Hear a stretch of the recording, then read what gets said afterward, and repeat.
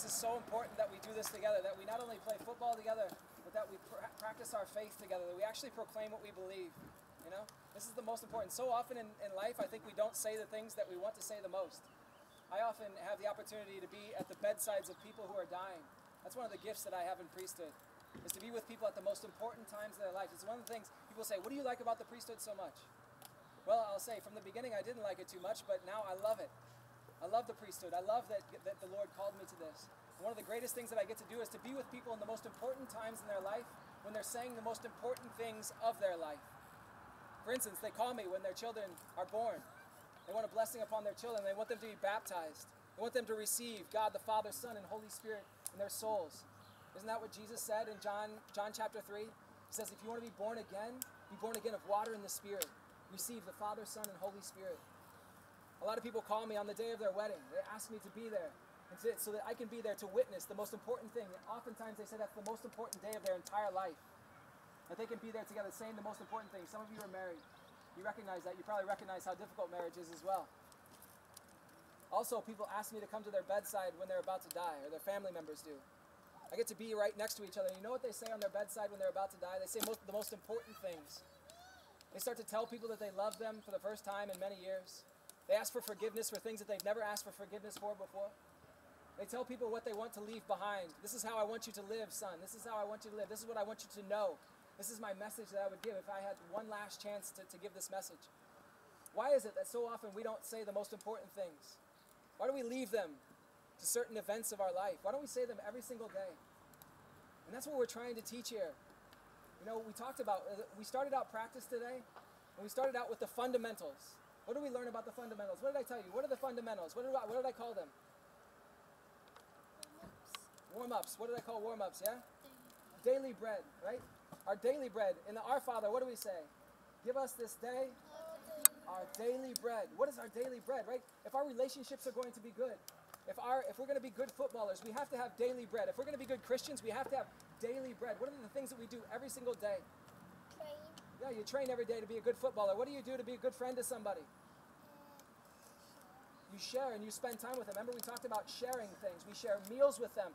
We share phone calls. We share time with them. We share everything that we have so we can live in good relationship. What else? Yeah, we're nice to one another. We treat each other with charity. That's what Jesus taught. Right? So all those things, those are our daily bread. That's why we start out every single training. We start out with a little bit of daily bread. And guess what? If we don't know the fundamentals, we can't get better. As a, I'll tell you, when I was your age, I did all these fundamental things, and I said, I can't wait to be a professional footballer or, or to be an important footballer so I can stop doing all this stuff. So I can stop doing all the stretching. So I can stop doing all the fundamentals. So I can stop uh, doing all the ab work and all the core work. And guess what I did every day as a professional?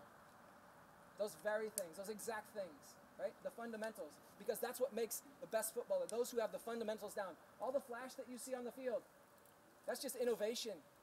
That's just good, that's just good intuition. Those are the best that have the best minds. But the fundamentals are what we all have to have, otherwise you can't play. It's the same thing as being a Christian. If we don't have the fundamentals, how can we play? Most of us, we don't even know how to pray. How can, we, how can we be a good Christian? How do we, can we have a, be, have a good relationship with the Lord if we're not praying on a daily basis? That's our daily bread, right? Literally, our daily bread is the Eucharist, going to Mass every Sunday. Heck, Jesus didn't even teach that. It was 2,000 years before Jesus. That, that was the law given to Moses to keep holy the Sabbath, right? He's taught us all along how we're supposed to live. We have to have daily bread. What else did we do? We, we started to play a little bit of offense, right? We did the two versus two to goal, and then we did one versus one to goal. We played a little bit of offense. We played a little bit of defense. I already alluded to this. But in defense, you know what? Sometimes we have to defend in our lives. What do we have to defend against? What do you have to defend against in life? Attack. Huh? Attack. Attack. Yeah, what attacks do you have in your life? Who's attacking you? I think he means. I think he means in football too, but I'm not talking about football. What else? Do you have any temptations? To fight with your brother or your sister? Yeah? Do you have any temptations to disobey your parents? Yeah? Do you have any temptations not to do your homework? Yeah. Everybody has that one, right? Right? So we have different things that we need to defend against, and how do we do that? Yeah. Sometimes we just have to put our head down and do the right thing, right? We have to make a decision which side we're on. And sometimes we have to just practice virtues, right? Good habits. Sometimes we just have to do the work.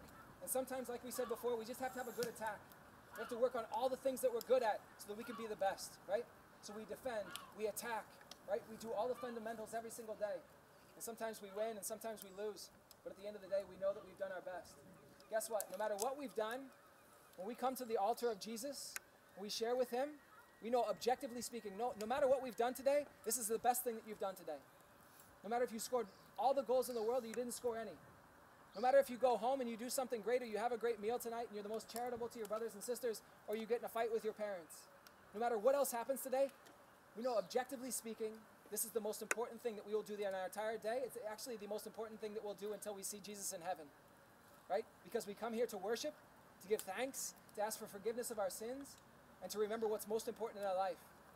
Someone was telling me before as we walked in here today, uh, a man out here, he told me, he said, he goes to Mass. He's 30 years old, he has a wife and a family, and he goes to Mass every weekend. And he says sometimes people ask him why he's wasting his time. He says, Why do you do that? Why? That's so weird. No one goes to Mass anymore. No one practices their faith anymore. And I said, Well, what, what's more important? What's more important than that? A guy who's given witness to his faith that knows what's more important in his life. I'll tell you, there's nothing in this world. The reason I'm a priest today is because there's not, I'm convinced there's nothing in this world that will ever make me happy. And I'm not depressed about that. Actually, it's the, it's the best news I've ever received. It's given me the most faith because I'm not living for this world anymore. I told some of you before, when I was able to shake David Beckham's hand after the game, right? And after the game that we played, I, sh- I shook his hand and I realized after that, it was at that point in my life I realized I didn't want anything that David Beckham had anymore. Those are the things that I yearned for in my youth. I wanted to have nice cars and nice house and, and, and, and beautiful parties, I'm sure, a house in Beverly Hills, all of those things that everybody wants. And I can tell you now, none of those things excite me at all. You can have whatever car you want. I don't, I don't really care. I get excited sometimes when I see them. But I don't want them. You have all the money in the world. I know that it doesn't make me happy. So what is, what is this life all about? This life is all about our relationship with Jesus. That's the only thing we have left. If we don't have that, we don't have much. So I, would say the one who scoffs at the one who is, has a relationship with Jesus is the one who's really missed their calling in life, the one who really doesn't know where we're going. And there's always time for us to come back to this altar. So I invite all of you back, no matter where you're at, parents, children, I don't know where you're at in your faith right now. But if you haven't received an invitation from anybody else, I invite you back. I invite you back to church. I invite you back to the Eucharist. I invite you to worship God, to practice your faith. Remember what your life is all about.